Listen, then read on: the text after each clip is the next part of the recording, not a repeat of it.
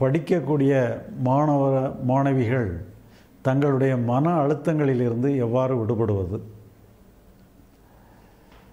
இப்போ இந்த காலத்தில் பார்த்தீங்கன்னு சொல்லி சொன்னால் மாணவ மாணவிகள் நிறைய பேர் சூசைடில் அட்டம் பண்ணுறாங்க சூசைடே பண்ணிக்கிடுறாங்க. இப்போ இதில் வந்து நிறைய வந்து படிப்பு சம்மந்தப்பட்டும் இந்த பிரச்சனை நடக்குது.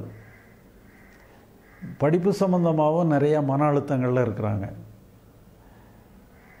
தேர்வு எழுதுறதுல பிரச்சனை சில பாடங்கள் விளங்கலைன்னுட்டு பிரச்சனை இப்படி எத்தனை விதமான பிரச்சனைகளை அவங்க சந்திக்கிறாங்க. இப்போ மாணவர்களை பொறுத்தளவில் அவங்க எப்படி செயல்படணும்? உண்மையில் பார்த்தீங்கன்னு சொல்லி சொன்னால் மாணவர்கள் வந்து இளம் வயசு அவங்களுக்கு. இன்னும் அவங்களுக்குடைய அந்த இன்னோசன்ட் ஸ்டேட்டு இன்னும் அவங்ககிட்ட வந்து போகலை. மாணவர்களுடைய உண்மையான சொத்தே என்னன்னு சொல்லி சொன்னால் அவங்களுடைய இன்னோசன்ஸ் தான். அந்த இன்னோசன்ஸ் வந்து அவங்களுடைய அவங்களுக்கு போதிக்கக்கூடிய ஆசிரியருக்கும் கிடையாது. அவங்கள பெற்றெடுத்த மா த தங்க பெற்றோர்களுக்கும் கிடையாது. ஏன்னா அவங்களாம் அதை இழந்துட்டாங்க. அந்த கட்டத்தை கடந்து வந்துட்டாங்க. ஆனால் மாணவர்கள் வந்து இன்னும் அந்த கட்டத்தில் தான் இருக்கிறாங்க. ஏன்னா அவங்க முழுக்க அவங்களுடைய இன்னோசன்ஸை இழக்கலை.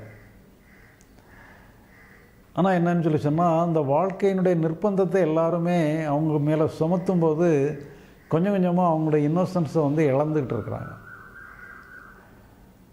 இப்போ உண்மையிலே மாணவர்களுடைய முக்கியமான கடமை என்னன்னு சொன்னால் படிக்கிறத விட நிறைய விஷயங்களை சேகரிக்கிறத விட அந்த இன்னோசன்ஸ் அவங்ககிட்ட இருக்கக்கூடிய இன்னோசன்ஸ் ஸ்டேட்டை காப்பாற்றுறது தான் மெயினான கடமை. அந்த கடமையை தான் பிரதான கடமையாக வச்சுக்கணும் மொழிய. மற்றதெல்லாம் தேவை தான் அதெல்லாம் ஒரு செகண்டரி ஆஸ்பெக்ட் தான். ப்ரைமரி இம்பா இம்பார்ட்டன்ஸ் என்னன்னு சொல்லி சொன்னால் அந்த இன்னொசன்ஸை காப்பாற்றிக்கிறது தான் அது வந்து அவங்க சம்பாதிக்க வேண்டிய ஒன்றும் இல்லை. அவங்ககிட்ட இருக்க இயற்கையாகவே அமைஞ்சிருக்கிறக்கூடிய இன்னோசன்ஸ் வந்து அவங்களுடைய இயற்கையான சொத்து அது. அந்த சொத்தை மிஸ் பண்ணாதபடி அவங்க அடிஷ்னலாக படிச்சுக்கிடலாம் என்னதும் பண்ணிக்கிடலாம்.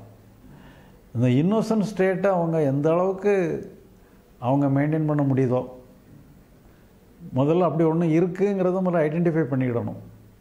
யாருக்கிட்டேயுமே இல்லாத ஆசிரியர்கிட்டையும் இல்லாத பெற்றோர்கள்கிட்டையும் இல்லாத ஒரு இன்னோசன்ஸ் சொத்து அவங்ககிட்ட இருக்குங்கிறத முதல்ல அவங்க அண்டர்ஸ்டாண்ட் பண்ணிக்கிடணும் ரெகனைஸ் பண்ணிக்கிடணும்.